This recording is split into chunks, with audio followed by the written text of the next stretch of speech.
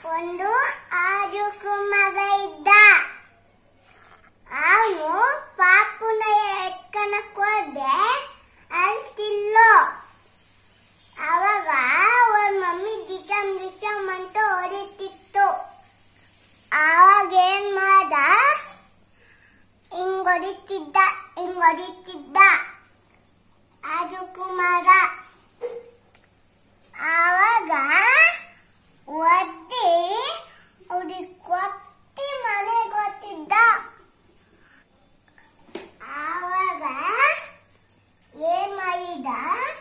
ಹೊಡಿತಿದ್ದ ಹೊಡಿತಿದ್ದ ಚಡೆ ಹೊಡಿತಿದ್ದ, ದಿನ ಚಡೆ ಹೊಡಿತಿದ್ದ, ಮಂಕಂತಿದ್ದ ಉಡ್ಕುಯ್ತಿದ್ದ ಅಚ್ಚಗತ್ತಿದ್ದ, ಕುದ್ದೆಗತ್ತಿದ್ದೆ.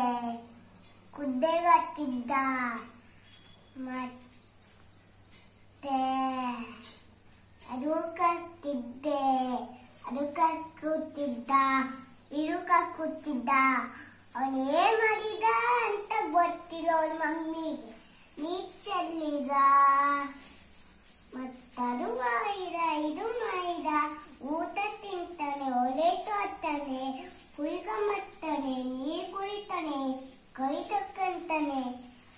ಬುಚ್ಚೆಲ್ಲ ಹೇಳ್ಕೊಂಡು ಬಡಿತಾನೆ ಮತ್ತೆ ಆವಾಗ